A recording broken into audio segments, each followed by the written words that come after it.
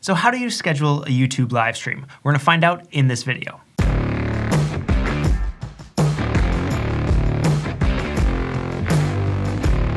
Hey everyone, Nick Palkowski here, and on this channel we dive into all things videography and live streaming. So I want to jump into and talk to you how to actually schedule a YouTube live stream. So why might first, why might you want to schedule a live stream? Well, one, uh, this gives you a chance to really promote a live streaming event. Uh, right now, especially uh, live streaming is a great way to interact and engage with your audience members uh, and by scheduling that stream ahead of time, you're going to be able to promote it in other ways. You know, promote it on Facebook or Instagram, other social media channels. Plus, YouTube is going to um, showcase your your thumbnail in the normal subscription feed for that live stream and allow people to actually set a reminder and then it'll remind them on that exact time. So that's one of the reasons that you're going to want to schedule your live stream just to kind of uh, get more promotion behind it. Also, live streaming is a great way right now to engage and connect with your audience. Plus, YouTube, their algorithm gives it a little bit of a nice little bump right now. Uh, it's not a magic bullet by any means for the algorithm, but it's going. They're going to make sure to add in a little bit of extra work to help you to help your audience to help other people find your live video. So that's one reason why I really think you should. That's another reason why I think you should really consider live streaming. So let's jump in and find out how to schedule that live stream. So the first thing you need to do is log into your YouTube account and then head over to the YouTube studio. Once you're there, you're gonna see uh, there's a few different ways you can find out how to schedule it, but right here we're gonna find the create button, or we're also gonna see these two buttons on the dashboard of the YouTube studio. We're gonna click this one, which is the go live button. So if we click that, it opens up this nice little page which will allow you to copy and create a new stream or create a new stream. We're gonna go create a new stream just so I can kind of take you through everything uh, from the ground up. So let's do test stream. I'm gonna leave it as public. Actually, I'm gonna go, just so this doesn't pop up on my channel, I'm gonna go unlisted. Uh, great stream, stream about to happen.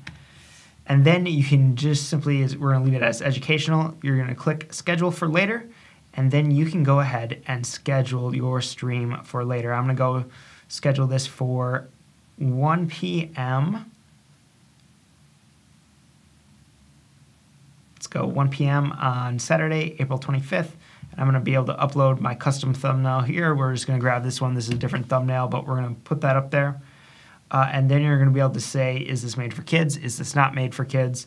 Um, and we're going to say, no, this is not made for kids. And, and then you can add in any sort of age restriction that you would like. And you're going to simply click Create Stream.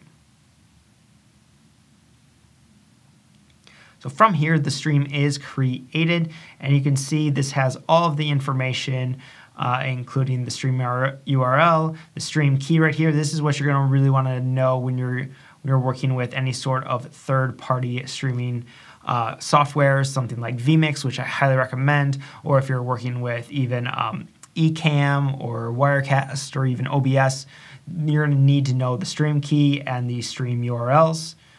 Uh, and then um, you can kind of get familiar yourself with this page a little bit. But it's pretty straightforward. These are going to be where your analytics live. You can actually have your chat will live right here.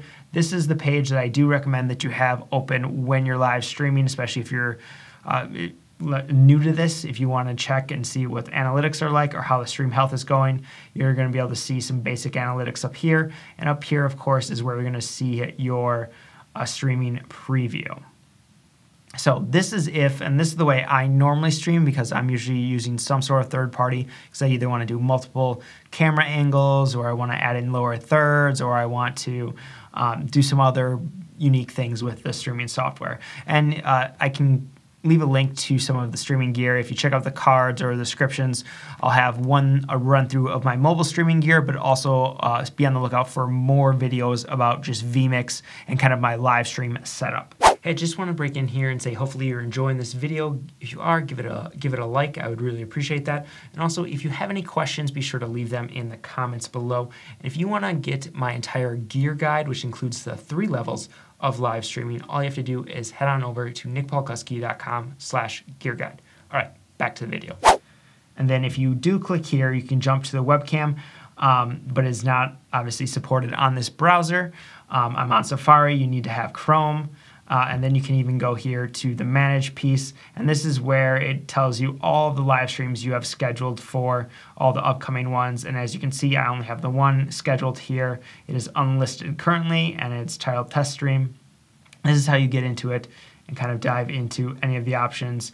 Uh, you're still able to edit the title and description. Uh, you can grab the, this is where you're gonna grab, if you want to, you can grab the shareable link.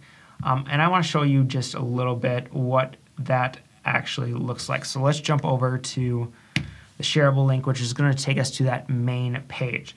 So this is what people who go to the page, which your your viewers are going to see. They're going to be able to click a get reminder. You can see we're live in four days, April 25th at 1 p.m.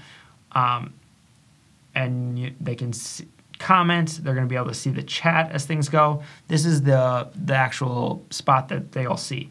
And this is also where I recommend if you want to, you know, grab an embed code, you can do that from here, embed it on your website or anything like that. That's all going to happen right here from this page. And then of course you can go here. This is how, if you do want to edit any sort of descriptions or anything like that, this is where I recommend you jump into and do any of that editing. And there you have it. That is how you schedule a live stream on YouTube. A quick little overview of everything.